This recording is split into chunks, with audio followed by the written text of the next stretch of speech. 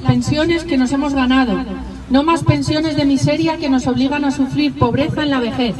Pedimos la cotitularidad de las pensiones y que el tiempo dedicado a tareas de cuidado o que hemos desarrollado en el campo sea reconocido en el cálculo de las pensiones al igual que el trabajo laboral y demandamos la ratificación del convenio 189 de la OIT que regula el trabajo doméstico. Gritamos bien fuerte contra el neoliberalismo salvaje que se impone como pensamiento único a nivel mundial y que destroza nuestro Esa grandeza que no es otra cosa